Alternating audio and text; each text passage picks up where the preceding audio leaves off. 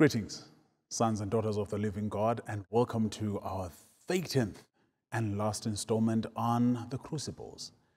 As Solusi University, we have had the privilege of coming to your homes, to your spaces, to your churches, and sharing from the Word of God.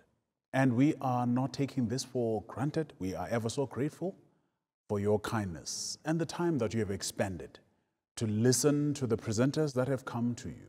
We look forward to the coming quarter and we hope you're going to tune into M&S Creativus and continue to fellowship with us at Solusi University.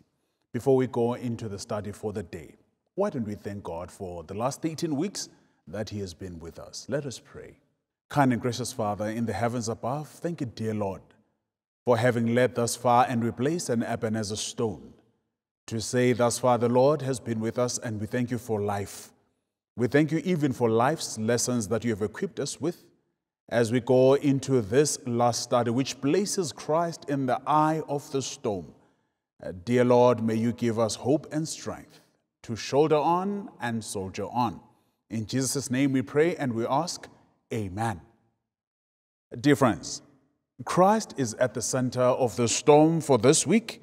We have had interesting topics over the last quarter topics like the shepherd's crucible, the crucibles that come, the bird cage, where we were taught how to sing songs in crucibles and come out with the right tune and pitch. We looked at the goldsmith's face, where we were supposed to be processed until the face of Christ is reflected in us. We also looked at struggling with all energy, where we needed to look at some of those principles that we have to look at and abide by them so that even as we go through, there is resistance that we face, but we must still make it. We also looked at the indestructible hope. And on this indestructible hope, against all the odds, let us continue to have our hope built on nothing less but on Jesus Christ, who is our solid rock. We also spoke about seeing the invisible, how we are all tech savvy we never mind about how our phones work. We do not worry about how our computers work. And yet, the plan of heaven is even more advanced. There is an invisible force where we wrestle not against flesh and blood, but against principalities of darkness. And there is invisible, invisible force that fights our battles. And we also looked at a life of praise when it does not make sense. Prof. Zondasara referred to this as a counterintuitive that we need to look at how we go about all these issues in life. And besides the life of praise, there's also meekness. This is controlled power where we appreciate that there's a bigger plan. God is in control and we become meek like Moses. And we also looked at waiting in the crucible. Uh, in waiting in the crucible, this is where you're dealing with some of those situations that call upon us to exercise patience, self control, and discipline while we are in the crucible and not behave like popcorns that are quick to jump out of the receptacle, but remain in situ and remain in place. And then last week we looked at dying like a seed. We need to take on the form of Christ, who did not count it robbery to become equal with man, but he let go of heaven like a seed so that even as he dies, he can germinate. As he regerminates, grow. And this kingdom shall grow. As it grows, it shall give birth to many more. And more seeds come out of that one seed. If only we can die to self and emulate the life of Christ until we become a living sacrifice. Brother Dlamini covered that section last week. Now, this week, having covered the summary of the whole week, of the whole quarter. Now you want to look at what Christ went through. Christ, as we come to the reading of the day, is in the eye of the storm. And we're going to find this in the book of Matthew, chapter 27, the verse is 46. I read it in the New King James Version. It says, quote unquote, and about the ninth hour, Jesus cried out with a loud voice, saying, Eli, Eli, lama sabachthani, that is, my God, my God, why have you forsaken me? The author of the study guide places Christ in the crucible and identifies this place as the eye of the storm. When Christ cries, Eli, Eli, lama sabachthani, my God, my Father, why have you forsaken me? It is only when we are forsaken by God that we reach the top, the apex, the echelon of crucibles. Many of us, we have not yet reached the place where we can say God has forsaken us for real. We only imagine it. We only think that could be the state of affairs. But this is not so. Where Christ now says, My Father, my Father, why hast thou forsaken me? This is something that was literal. Even though it was a spiritual issue, this is something that was really happening. Christ had indeed been separated from the Father. And yet, the rest of us, here is the assurance that Paul gives us what shall separate us from the love of God? Nothing. Nothing. Now, let us work our way to the outer perimeter and then work our way in. You know, when you go back to the book of Luke, chapter 2, the verses 7, by this time Christ is about to be born, and there is no room for him to be received. As a result, we sing when we get to, to, to our Christmas sessions about Christ being born in a manger. As he is born in this manger, what should we appreciate? That this was a crucible before he even entered earth. The crucible is no accommodation. Before he even enters earth, no gifts to receive. And as he is received in a manger, that is the first crucible that is introduced to. Fast forward to Matthew chapter 2, you look at verses 1 up to 18. Now he has been born. And the three magi, the three wise men, the wise men come from the east. And they say, Where is he who has been born king of the Jews, so that we may worship him?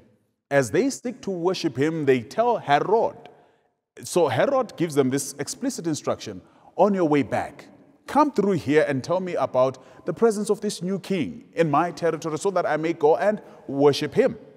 As a result of this, there is a hunt that begins. When he notices that he has been hoodwinked by this wise man, he goes off to hunt Christ. Because Christ has been taken off to Egypt as an emigrant for safety, Herod goes on to have all the children that are less than two years put to death.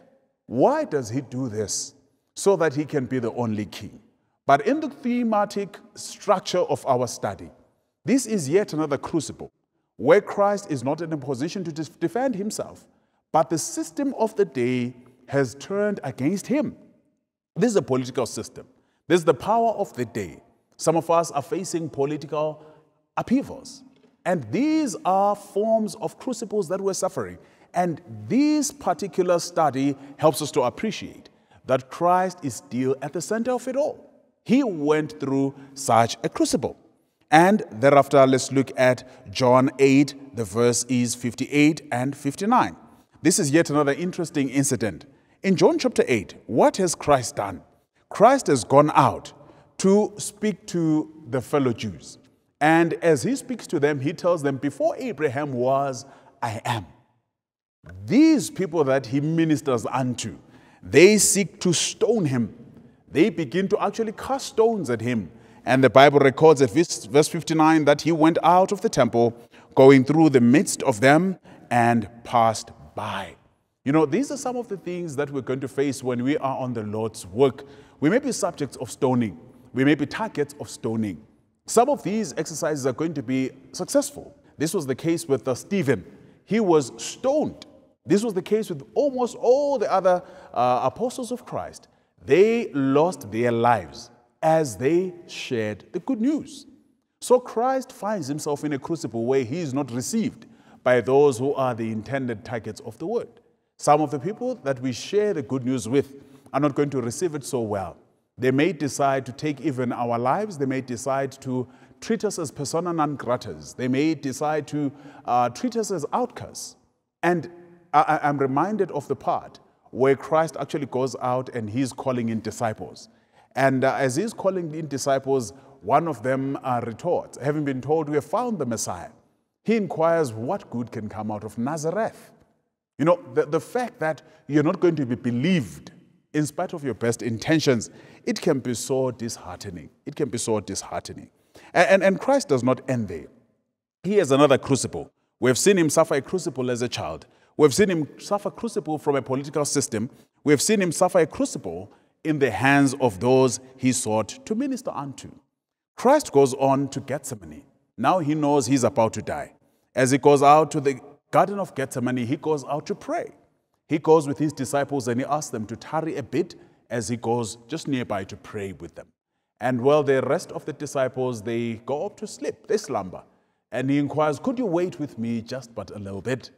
As Christ is in the Garden of Gethsemane, he prays unto the Father, and three times he calls, If this cup will pass me by, let it be so.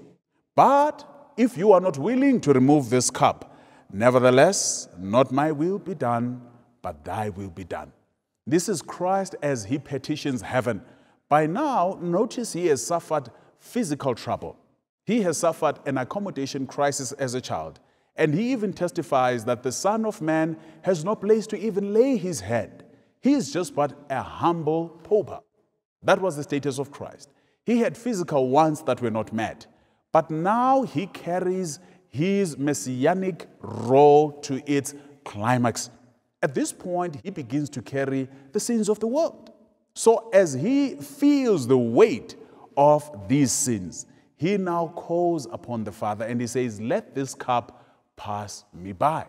But nonetheless, not my will, but thy will be done. Now, this is something that we also need to appreciate that when we are talking about being in the center of crucibles, we need to appreciate that it is God's will that ought to be done. Done before we come into the crucibles, done when we are in the crucibles, done when we are still transition from the perimeter to the eye of the storm. So Christ is now praying, and after this prayer, this is where Malchus and the servants of the high priest come and apprehend Christ. And Peter goes into defense mode and he strikes off the ear of Malchus. Christ even defends Malchus at this point, and having defended and restored his ear, he takes off to be tried. This is now the Passion Week, where Christ carries our sins right to the cross. So, as we looked at the memory text, which was in Matthew chapter 27, verse 46, now we find Christ having been found guilty and yet he is innocent. While he is being hung on the cross, he takes this opportunity, number one, to forgive those who are sinning against him. Number two, to pardon a thief that is on the other side. What should we understand about Christ being at the eye of the storm? He goes through this experience, but still blesses others. As we have gone through this quarter, the quarter has sought to move us to an appreciation whereby we do not just say, because I'm having it tough, I have a reason to be mean. Christ, while he hangs on the cross, while he is losing life, the Bible says there was an earthquake, and out of that earthquake, people who were saints were restored to life and they were resurrected and seen walking right into Jerusalem. This is when he is in the eye of the storm the highest of crucibles. And this is a lesson for you and I. It is no excuse that you are having it tough to become nasty. It is no excuse. And number two, just in case you're thinking, I have had the worst of it all, you haven't had what Christ went through. Because Christ had it all. You want to say, I want to build my hope on Him who has suffered more. Not only has He suffered more in person, but he has suffered for me, he has suffered for you. This is the relationship that we ought to build as we look at Christ. We want to appreciate what he gave for us to be where we are. It could have been worse had it not been for Christ. It could have been worse. My dear friends, we have come to the end of our discussion. Yes, all of us have sinned, and we have come short of the glory of God. But because of Christ, who took it upon himself to go right into the center of the crucible. He has made it possible for you and I to become heirs of the kingdom. May the good Lord, who has seen us through lesson number one up to lesson number 13, continue to be our strength, continue to be our stay. May He be the one who will shoulder us, carry us in the eyes of the storms where we are at They may appear like they are small storms in the eyes of others, but not with God. He says, Lo, I am with you always. I've been through my own storm. Even though you are to carry your own cross, you shall not carry it in vain. It is a yoke from me. Take my yoke, it is lighter from you. Why don't we pray and bless the name of the Lord before we go our separate ways? Kind and gracious Father in the heavens above, for the study we have just had, oh dear Lord, how I pray that you may increase our faith in the crucibles and help us to appreciate, just in case we were becoming crybabies, that you have even carried more for our sake. Give us this hope that if you have made it at the higher level, you will help us at the lowest level. And dear Lord, when all is said and done, all these lessons have been read, they have been shared, they have been watched, they have been listened to. How we pray, dear Lord, that our characters may be perfected for heaven. In Jesus' name we pray and we ask. Until we meet again, amen and amen. Thank you.